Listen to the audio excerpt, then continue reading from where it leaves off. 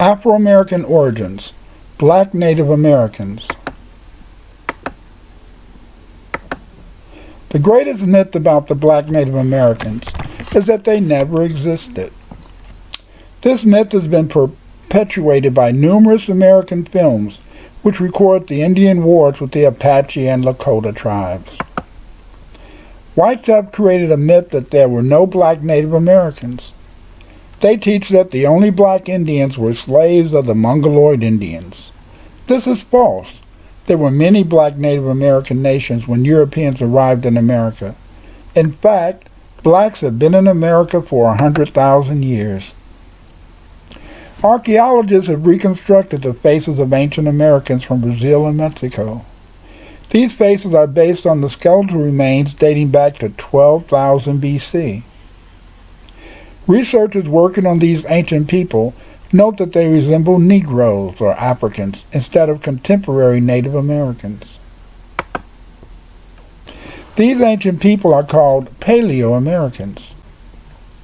In the Smithsonian magazine, Dr. Chatters, who found Naia's skeleton, noted that the small number of early American specimens discovered so far have smaller and shorter faces and longer and narrower skulls than later Native Americans, more closely resembling the modern people of Africa, Australia, and the South Pacific.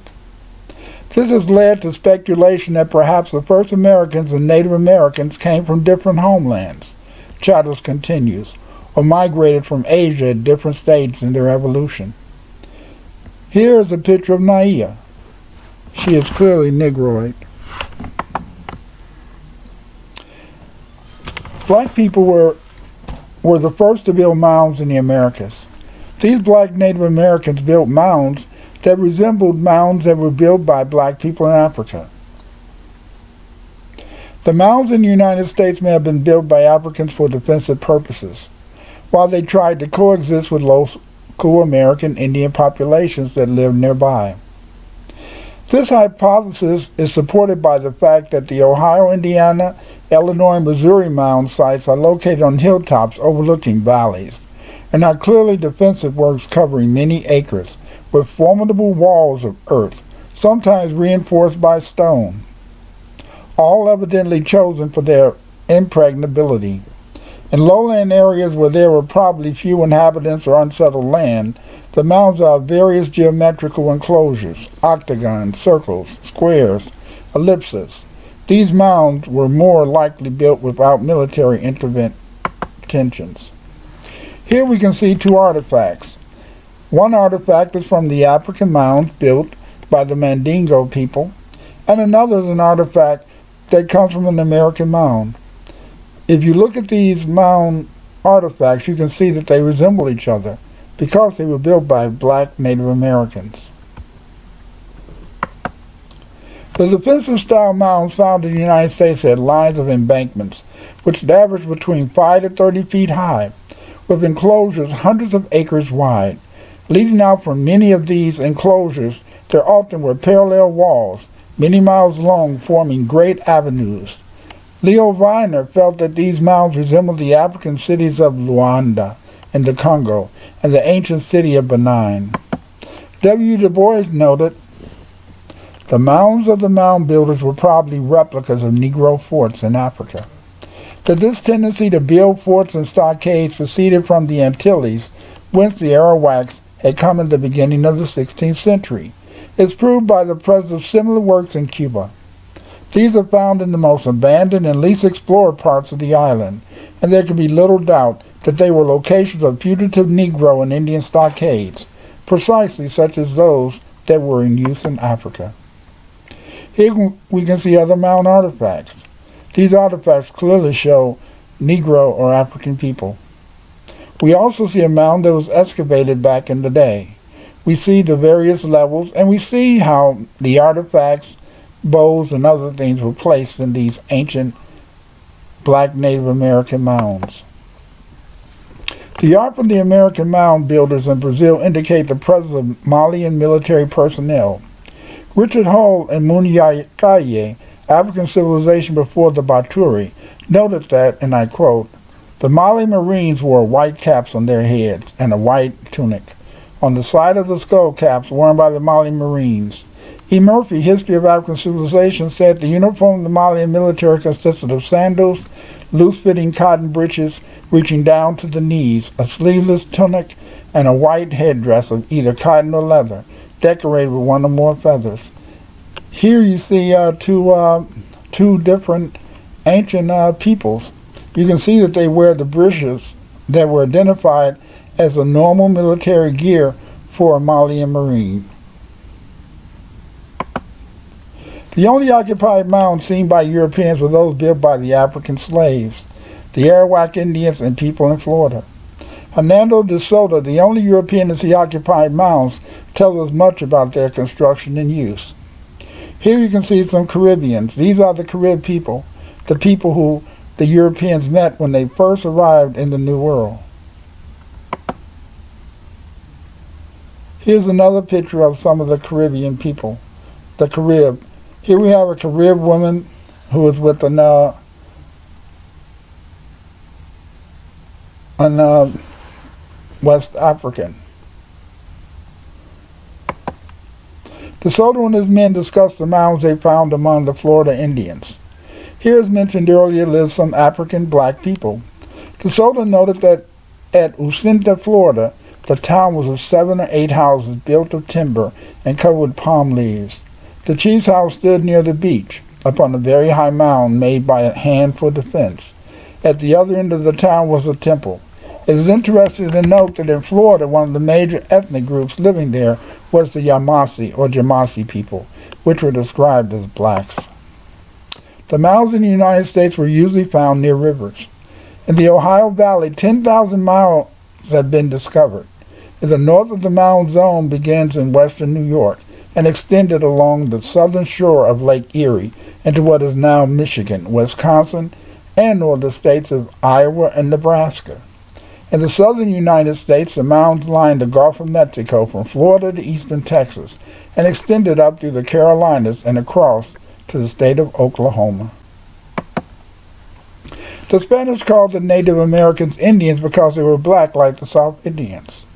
Here's a picture of the Caribs, the first people that Columbus and other Europeans made when they when they sailed in the Caribbean islands. As you will note, these people were black like African Negroes or sub-Saharan Africans. They have also found many black skeletons of these Indians in the Caribbean. Here we can see an article from Man, a monthly record of anthropological science. This article, published in 1939, made it clear that many Negroid or Negro slaves, Negroes, had inhabited the Virgin Islands in pre-Columbian times. That means that these black people were not slaves. These uh, skeletal remains date to pre-Columbian times. So this shows that these black people were in the area, in the Caribbean, before the Europeans arrived. There were many black Native Americans. In North Carolina, there were many black Native Americans, including the Yuchi, the Creek, and the Yamasee. Carolina Indians were painted by many painters, including Philip George Frederick von Reck. Sure, von Reck, he did many beautiful paintings of these black Native Americans. Some of these black Native Americans belonged to other tribes between the Creek and the Yamasee. There were the Sokotan, the Yamacraw.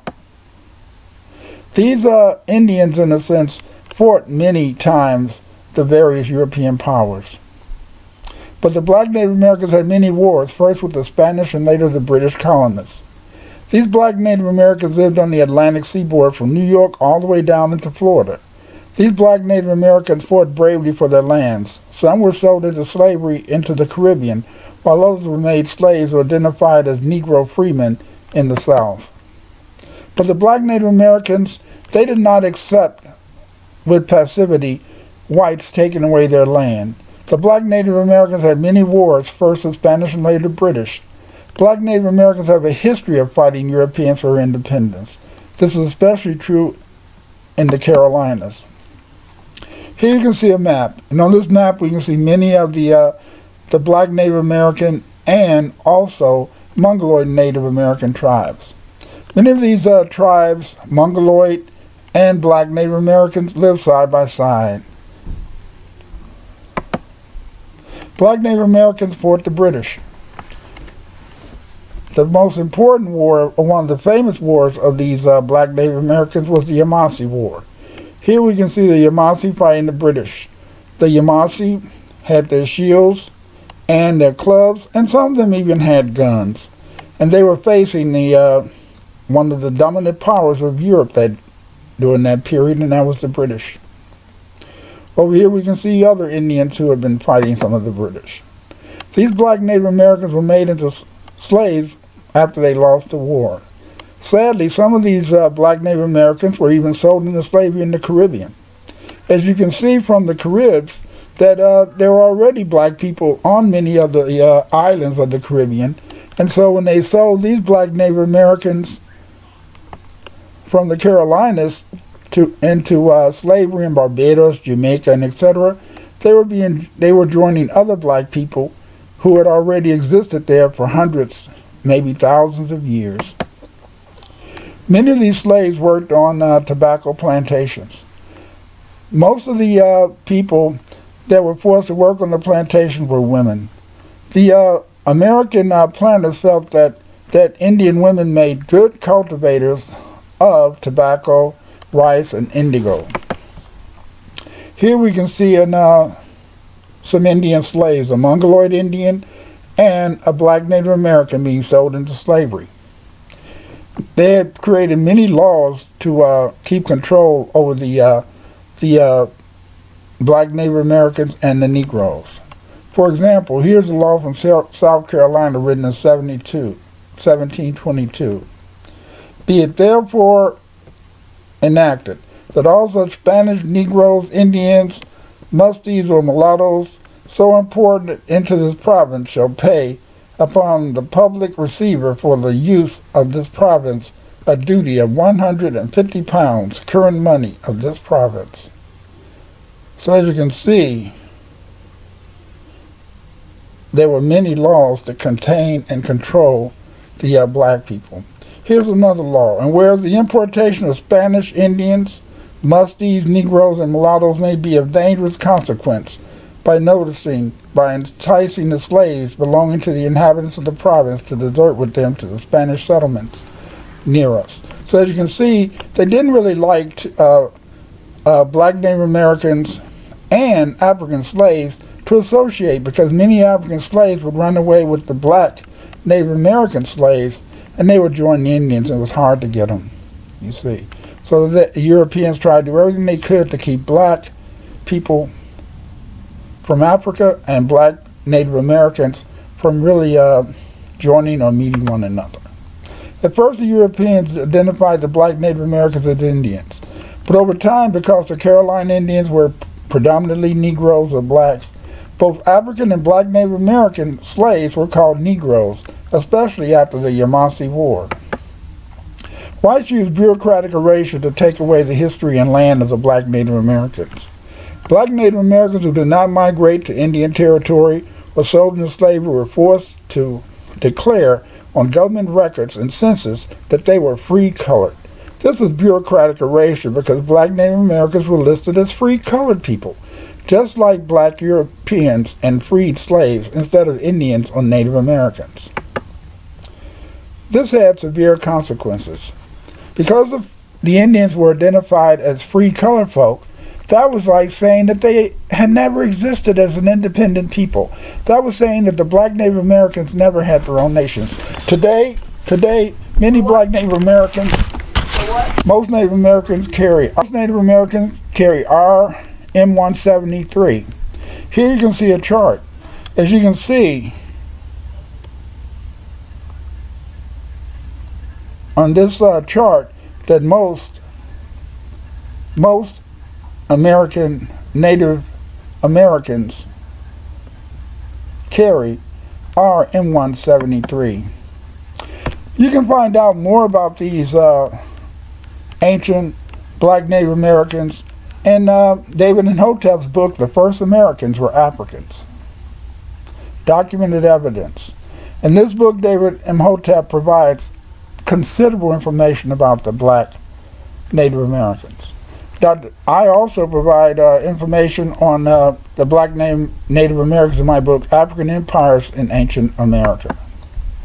Other books that can provide you more information on these uh, black Native Americans is The History of Blacks in America from Prehistory to 1877, written by myself, Dr. Clyde Winters, and especially We Are Not Just Africans, the Black Native Americans. In this book, I detail the history of blacks in the Americas. And I explain how black people went from dominating North America to becoming, in a sense, erased from history.